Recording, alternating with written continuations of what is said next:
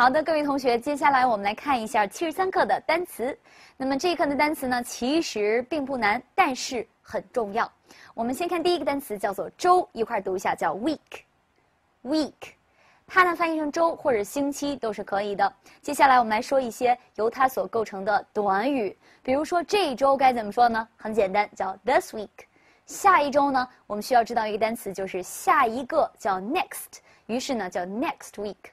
当然，上一周呢，就是由上一个 last 所组成的，叫 last week。所以这三个词呢，可能是我们用的最多的了。OK，再来复习一下：this week，this week，last week，last week，next week，next week。好的，接下来我们继续往下看，下面一个单词呢叫伦敦，一块儿读一下 London，London。这个单词呢，很多同学习惯于读伦敦，伦敦。啊，大家知道哈，这些世界上的地名儿比较著名的地名，他们都有英文名儿，所以你不能叫伦敦、什么纽约这样的都不行。OK，好，一块读一下叫 London，London。好，这是一个地名儿，很简单啊，不再说了。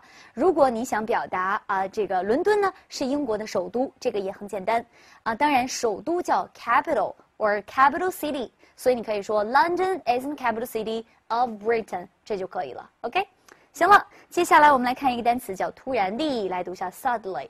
suddenly 这个单词叫突然地啊，为什么我要把它弄成蓝色呢？主要是因为它翻译成了中文叫突然地，也就是土地的了。那么在呃这个七十三课这一课文当中呢，有好几个单词，比如说 suddenly，还有什么呢？还有 pleasantly、slowly 这几个单词呢，基本上都具有共同特点，它们都是以 ly 结尾的。副词，那么好，呃，我们先呢把它搁在这儿，一会儿呢一块儿说，OK？好了，接下来我们看一个单词叫公共汽车停靠站，其实就是我们所说的公交站台，一块儿读一下叫 bus stop，bus stop。而相反，如果是这个每天晚上啊，公交车要回去停在那地方呢，我们就叫做 bus station，bus station，这就是它们的区别，很简单。好了，接下来我们再往下看，下一个词呢叫微笑，一块儿读一下叫 smile，smile。大家从中文名字就能看出来，微笑就是微微的笑。如果要大声的笑呢，那就得换个词，一块儿读叫 laugh，laugh。好的，这是这两个词的简单区别和差异，但是呢，它们的用法比较具有共同特点。我们先来说它们的词性。这两个词都同时具有动词和名词两种词性。那好，我们先做一件事情，就是请大家来判断一下这些句子，我一会儿要说的这些句子当中，这些词都是什么词性？请大家先看第一个，He said and smiled，什么意思呢？有人说他说了笑了，实际上就是他笑着说的，是吧？他笑着说了。来，一块读一下，He said and smiled。那么显然这是两个并列的动词，smiled 是一个。动词，好的，再来一个句子。我说，She's telling me a story with a smile，翻译成中文就是她带着微笑，带着笑容给我讲了这样一个故事。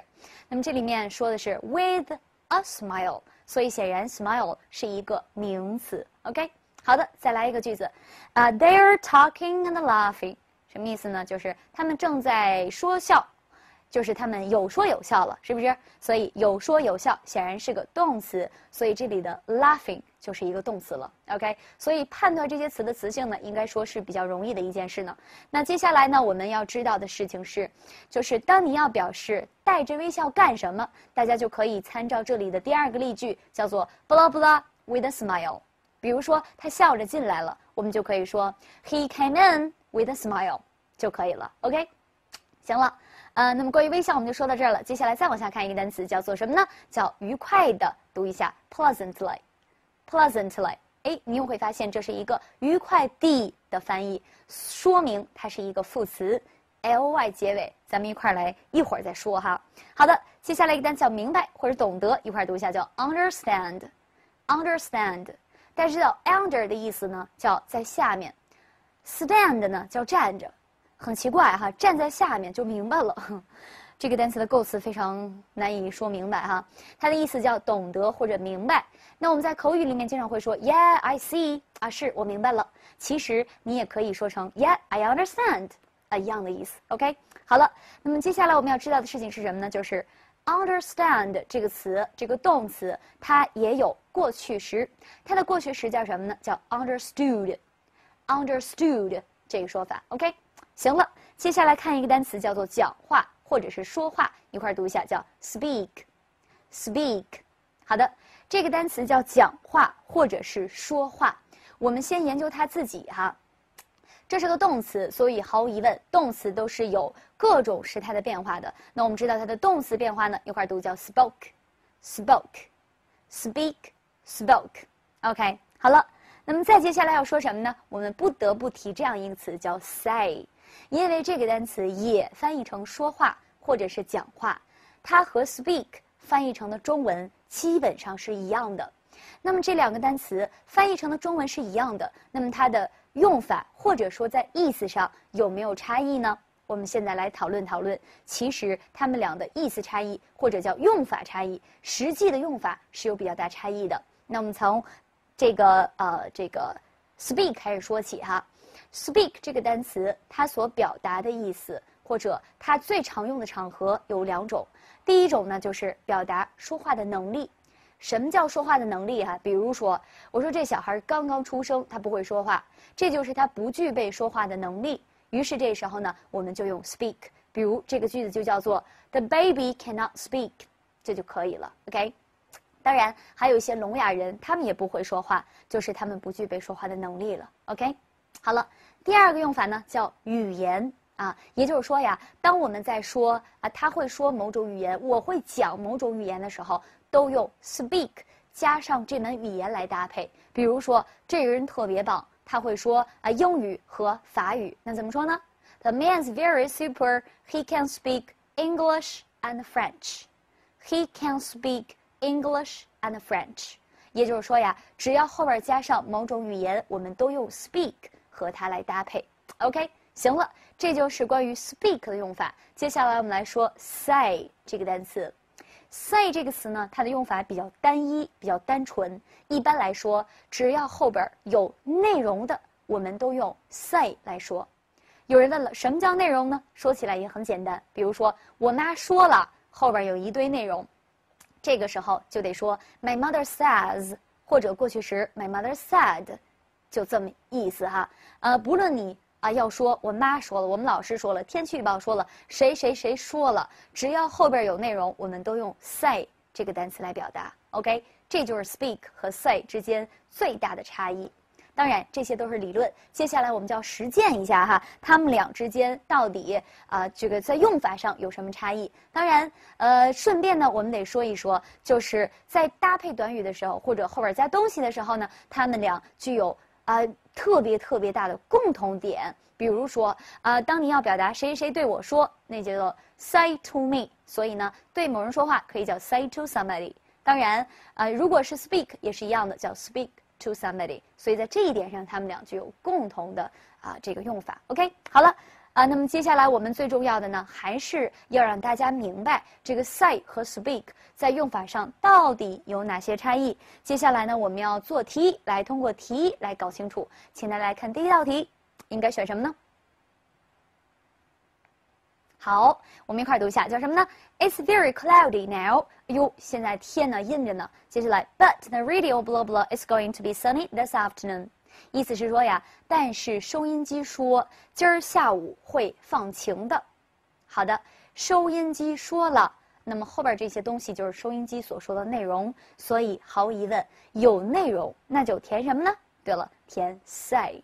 那么 radio 呢，属于三单形式，所以叫 But the radio says。OK，好了，再来看一道题。他说，He is super. He can blah blah English, French. and Chinese，说这人特厉害，他会说英语、法语和中文这么多语言。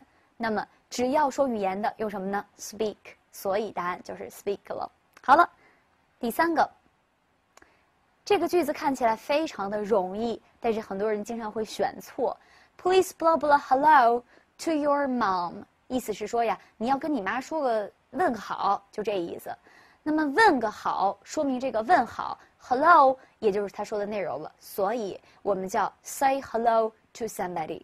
啊。当然，你可以这么理解，也可以把它记成固定的搭配。所以呢，向某人问好就叫 say hello to somebody。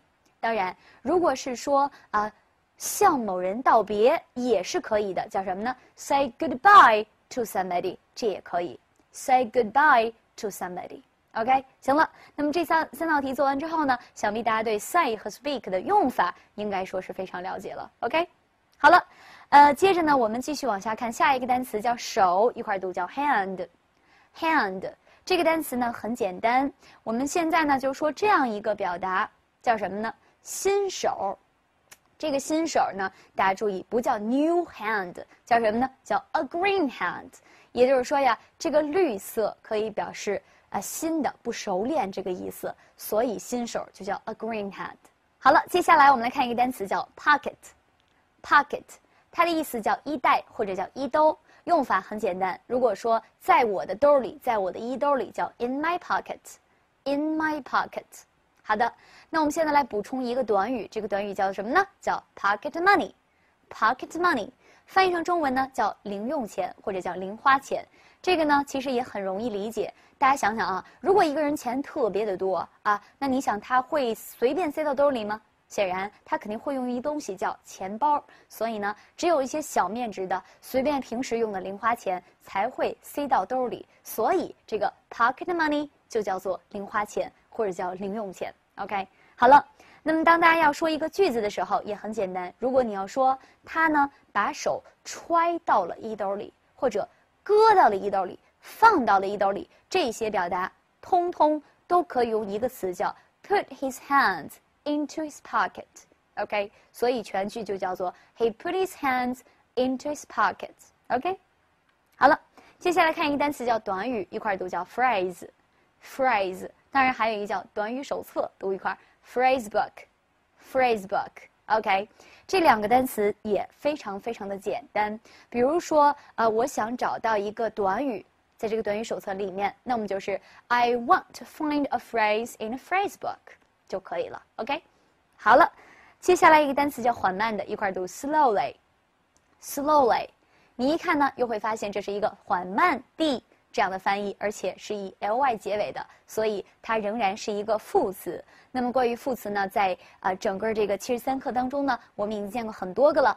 来一块儿回顾一下，有哪些个呢？啊，slowly、soundly，还有 pleasantly，它们都是以 ly 结尾的副词。那么接下去一会儿我们会专门说到这些副词的用法。OK，that's it。